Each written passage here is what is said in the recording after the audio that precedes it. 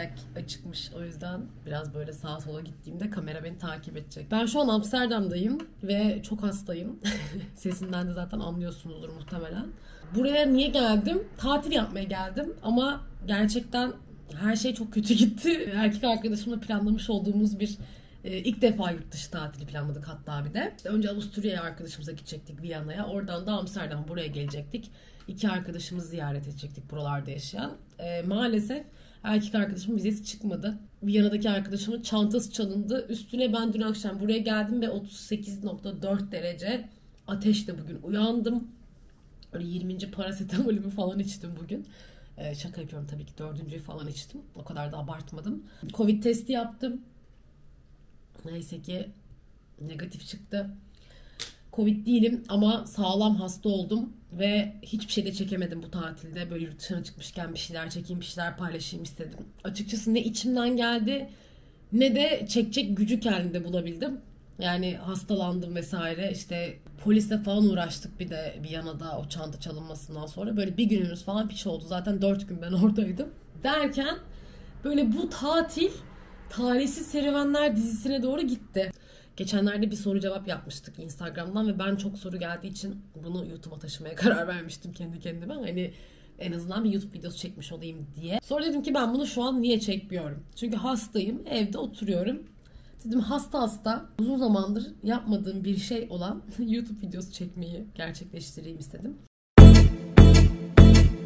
Evet ne zaman olmuş bu? 30 Haziran 2 hafta önce bir soru cevap yapmışız. Ee, daha doğrusu siz soru sormuşsunuz. Onun ekran kaydını aldım. Şimdi beraber bu soruları cevaplayalım bakalım. Caddede Fav Bar diye bir soru gelmiş. Yani caddede o kadar dışarı çıkmıyorum ki. Yani craft güzel. Caddede oraya gitmeyi seviyorum. Tam böyle bar konsepti istiyorsan. Daha pahalı olsun, kokteylleri güzel olsun dersen Pigalle çok güzel. Oraları önerebilirim. Ee, seni Hatay gezisiyle tanımıştım. Yine yapsana çok güzel yedim ve Hatay'ı demiş. Bırakma kendine. Çok teşekkür ederim. Hatay vlogumu da izleyebilirsiniz. Eski erkek arkadaşıma da olsa. Hala duruyor çünkü hakikaten çok güzel yedik. Ve çok fazla yer gezdik. O yüzden o vlogu silmedim. Zaten bana saçma geliyor böyle şeyler açıkçası. Ee, tekrar Hatay'a gitmek çok isterim bu arada acayip lezzetli yediğim her şey orada. Ne haber Zeynep? Bayağıdır yayınlara giremiyorum ama olsun demiş Arzu. Arzucuğum hello. Bu arada ben Twitch'te artık yayın yapıyorum yaklaşık 3 aydır. Eğer bir Twitch izleyicisiyseniz beni orada da takip etmenizi tavsiye ederim. Aktif olarak yayın yapıyorum çünkü. Bu hafta bir tek tatil olduğu için ara verdim. Ne haber sorusuna cevap verecek olursam da yani iyiyim. Biraz hasta ve mutsuzum açıkçası. Hem erkek arkadaşıma gelememesinden dolayı hem de hasta olduğum için. Ama genel olarak iyi olmaya çalışıyorum. Yani Türkiye'de gerçekten artık iyi olamasam da sevdiğim insanların, değer verdiğim insanların olması ve onlarla güzel vakit geçirebilmeye falan tutunuyorum. Yani böyle küçük şeyleri tutunarak hayatıma devam etmeye çalışıyorum. İyi olmaya çalışıyorum diyeyim. Çok iyi olduğumu söyleyemeyeceğim ama. İşinle ilgili seninle çalışmak isteyen biri sana nasıl ulaşabilir diye sormuş Jale. Ee, bunu ben daha önce de gördüm ama cevap veremedim Jale sana. Şöyle ki bana mail atabilirsin. Zeynep dekupe.co iş mail adresim. Oraya yazabilirsin. En severek takip ettiğin 3 yerel influencer. Ya Berra çok seviyorum ama Berrak artık yerellikten çıktı galiba. Böyle 100 artı K oldu ama bilmiyorum. Benim için yerel yani çünkü bizden biri. Anlatabiliyor muyum? O The Blow'u çok seviyorum ama yani yerel der misiniz yine? Çok emin değilim. Ee, o ben benim çok sevdiğim de bir arkadaşım O ben Alkan. Çok güzel yemekler yapıyor ve çok tatlı biri ve sürekli olarak dünyayı geziyor yaptığı meslekten dolayı. Bence onu takip etmek çok keyifli ve kardeşi Belen, Belen Alkan onu da çok severek takip ediyorum. E, aklıma gelenler bunlar. Umarım aklıma gelmeyen ve kaçırdığım biri yoktur ama severek takip ettiğim yerel, lokal influencerlar aklıma gelenler bu şekilde. Yaptığın tam olarak nedir ve biz nasıl yapabiliriz? E, yaptığım şey benim meslek olarak ben sosyal medya yöneticisiyim. Sosyal medya uzmanıyım yani hatta. Artık 7 sene oldu çünkü ve reklamcıyım aynı zamanda. Yani meta reklamları yapıyorum. Facebook reklamları, Instagram reklamları, piksel kurulumu, işte e, ticaret siteniz varsa o pikselden retargetingler falan filan o reklam dünyası ve aynı zamanda markaların sosyal medya hesaplarının yönetimi gibi bir işim var. Siz bunu nasıl yapabilirsiniz? Bununla ilgili biraz eğitim alabilir, e, biraz araştırabilir ve bu işe dalabilirsiniz açıkçası. Yani benim mesleğimin ben bir e, okulum okunması gerektiğini düşünmüyorum. Ben reklamcılık mezunuyum ama 4 senelik eğitim hayatımda bir dersimiz falan sosyal medya ile ilgiliydi. Bedenini nasıl barıştın? Ya bedenimle tam barıştığımı söyleyemeyeceğim bu arada. Hala böyle ay şuram pörtlek, ay şurada derim sarkık noktasındayım. Ama erkek arkadaşımın açıkçası e, beni yani olması gereken de bu zaten bu arada ama beni olduğu gibi sevmesi ve kabul etmesi ve saçmalama demesi bana mesela iyi geliyor. Yani e, birlikte olduğunuz insan partnerinizin size karşı böyle olması sizin de kendinize karşı daha okey olmanızı sağlıyor bence. Onun buradaki katkısı büyük ama daha hala bence bedenimle barışma yolundayım. %100 bedenimle barışığım ve çok seviyorum diyemem ama demek çok istiyorum ve bence diyebilirim de diye düşünüyorum. Bunca yoldan geçtik ettik çünkü. Her şeyden önce sağlıklı olmak bence önemli kim nasıl hangi kiloda hangi bedende kendini mutlu hissediyorsa bence o şekilde yaşayabilir. En sevdiğin yemek nedir? Of bu en enli sorular beni çok zorluyor. En sevdiğim yemek kızarmış tavuk galiba. Çok iyi bir kızarmış tavuk haftada 5 gün falan yiyebilirim. Yani et yememeye ve azaltmaya çalışıyorum ama kızarmış tavuk kırmızı çizgim. Yabancı müşteriyi nasıl nereden buldun? Şimdi ben bu soru cevap videosu şeyinin soru cevabı başlatmadan önce o gün mesleğimle ilgili bir şeyler paylaşmıştım. Biraz mesleki sorular gelmiş o yüzden. Yabancı müşterilerimi ben Upwork'ten buluyorum. Upwork.com diye bir web sitesi var. Ve bu site üzerinden yabancı müşterilere çok rahatlıkla ulaşabiliyorsunuz. Ve her meslek dalını karşılayan bir e, iş var orada. Bayağı bir iş var çok global bir freelance platformu gibi düşünebilirsiniz. Mesleğinizle ilgili online bir ders veya kurs vermeyi düşünüyor musunuz? Valla bunu çok düşündüm ama bunu yapacak zamanı bulamadım maalesef. Çünkü ben hem kendi işimi yapıyorum hem bir yandan Twitch, e, Discord, Instagram, TikTok, YouTube. Yani Türkiye ekonomisinde maalesef birden çok şey yaparak hayatta kalmanız gerekiyor ve ben artık kotamı doldurdum yani gerçekten korkunç derecede çalışıyorum ve çok yorucu bu benim için. Ama çok istiyorum böyle bir şey yapmak. Yani umarım ilerleyen dönemlerde e, bildiklerimi paylaşabileceğim, size aktarabileceğim bir şey yapabilirim. Böyle bir şey isterseniz, bu sizin ilginizi çekerse de yorumlara yazarsanız belki bunu biraz öne almaya çalışabilirim. Bunun için bir platform arayışına girebilirim e, vesaire vesaire. Yani bunun eğitimini vermeyi isterim. Çünkü artık 7 yıl oldu gerçekten. Hani bildiğim şeyleri aktarabilecek deneyime sahip olduğumu düşünüyorum. Ama maalesef nereden başlayacağımı da bilemiyorum. Ama hani böyle bir talep olursa e, önceliklendirmeye çalışırım. Neden olmasın? Çok güzelsin farkında mısın? Ya teşekkür ederim. Bazen değilim. Bazen kendimi güzel bulmuyorum. Mağara günde kaç kere yürüyüşe, yürüyüşe çıkıyor? Umarım bir gün denk geliriz. Umarım denk geliriz. Gelirsek lütfen gelip Marlışko'yu sevmekten çekinme. Çünkü en sevdiği şey insanların onu sevmesi sokakta. Marla günde iki kere dışarı çıkıyor. Bazen üç kere çıkıyor. Çok nadir dört kere çıkıyor. Ama hep iki. ABD vatandaşlığı mı vardı yanlış mı hatırlıyorum? Öyleyse orada yaşamak gibi bir düşünce var mı? Evet var. Umarım bir sene içerisinde Amerika'ya yerleşmeyi düşünüyoruz erkek arkadaşım ve köpeğimizle beraber. Ee, Türkiye'deki vehamet ve korkunç e, siyasi ve ekonomik durumlar silsilesi artık bizim dayanamayacağımız bir noktaya geldi. Gerçekten mutlu değilim. Mutlu değiliz yani ikimiz de. Marlon'un bile mutlu olduğunu düşünmüyorum. yani yolda yürürken bu ne pitbull mu bu falan diye bakan insanlar oluyor çünkü. E, artık bu cehaletle ben savaşmak istemiyorum yani. Ve böyle bir vatandaşlığım da olduğu için bunu kullanmak ve gitmek istiyorum açıkçası. Ee, umarım gidebiliriz. Bize şans dileyin. Marla ne kadardır sizinle? Eğer küçüklüğünden beri ise ilk bir yıl çok hareketli miydi? Ee, Marla Burakcan'ın sahiplendiği bir köpüş. O da bir yaşında sahiplenmiş barınaktan. O yüzden bir yaşına kadar e, çocuk doğurmuş çocuk doğmuş. Yavrulamış, e, dövüştürülmeye çalışılmış ve travmatize edilmiş bir hayvan maalesef. O yüzden ilk bir senesini bilmiyorum ama çok travmatize, çok korkak bir köpek olarak e, barınaktan Burakcan'ın sahiplendiği bir çocuk kendisi. Sorum yok. Sosyal medya personunu çok seviyorum ve kendime benzetiyorum. Ya Özge çok tatlısın. Çok teşekkür ederim. ABV dolar AliExpress gezmeleri özledik.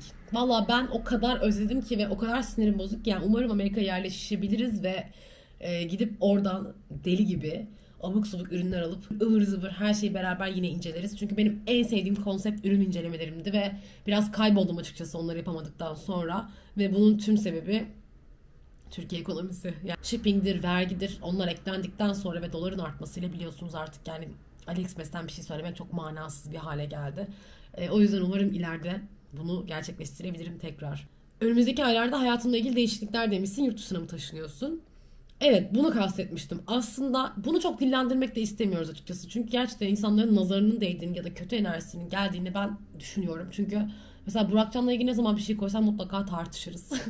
İnsanların kesinlikle yani bakışını çekiyorsunuz e, sosyal medyadaki varlığınızda ya da mutluluğunuzda ya da başka bir şeyle. Yani bu tatile çıkmadan önce business uçuyorum diye story attım. yani kalan son millerle falan business uçuşu aldım. Business uçuyorum dedikten sonra hiçbir şey iyiye gitmedi. Yani bilmiyorum.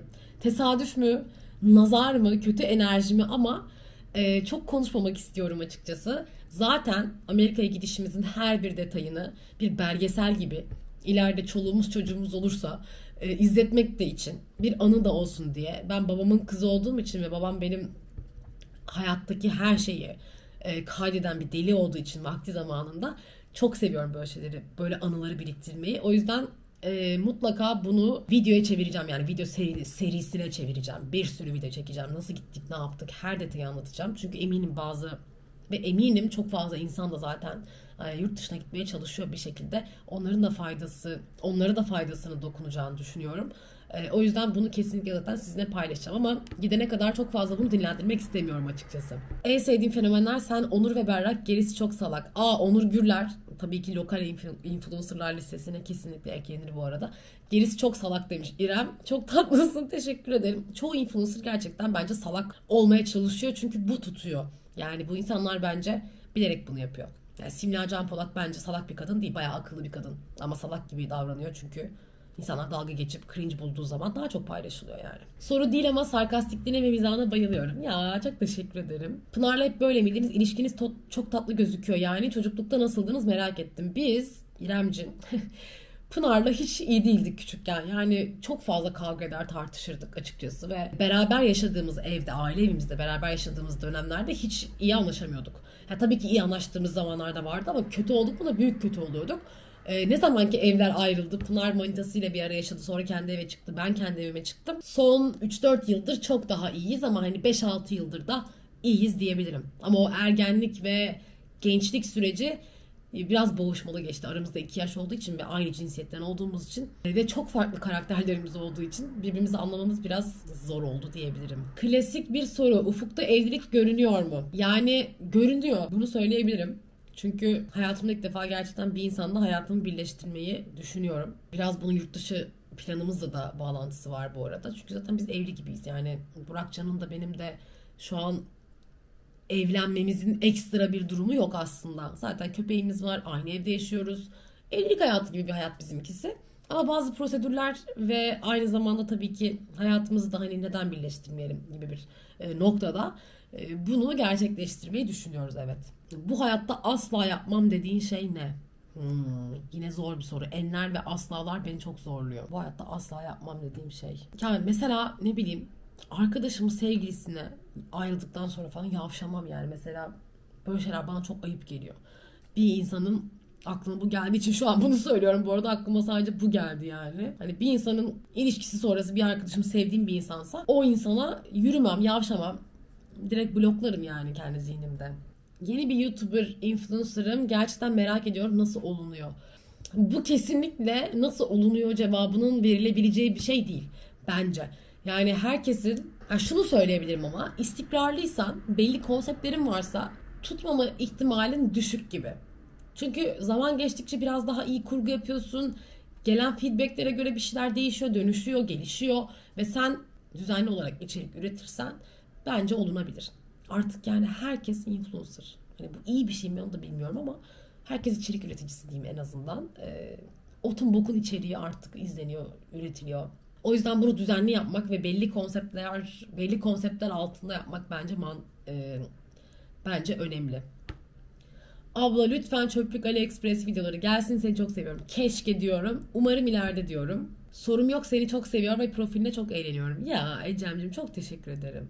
Ganyotçu mu Deli Vahit mi? Tabii ki Deli Vahit. O başka bir şey yani.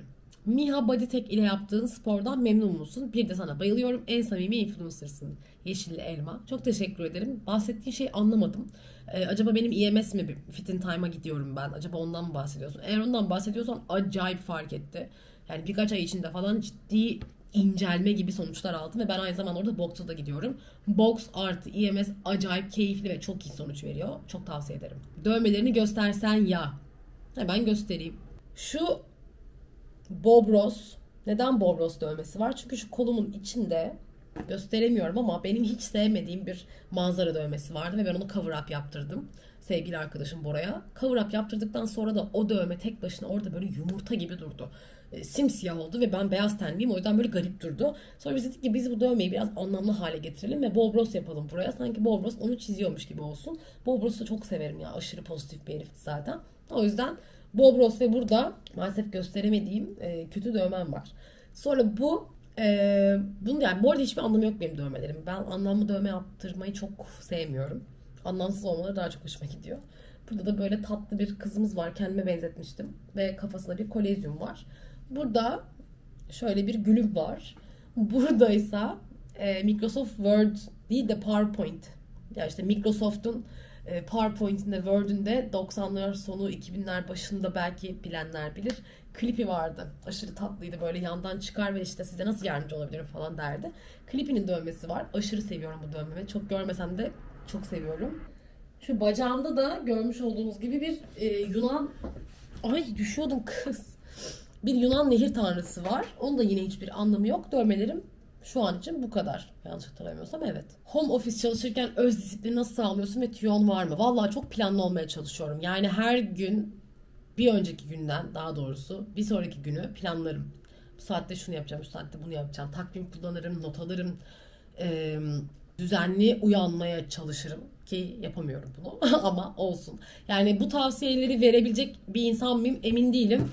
Yani planlı olmak ya da planlı olmaya çalışmak en azından bence önemli bir şey. Başka tavsiyem galiba yok. sosyal medya değersiz gören müşteriler için biz sosyal medyacılara önerim var mı? Bu müşterileri bırakabilirsiniz mesela.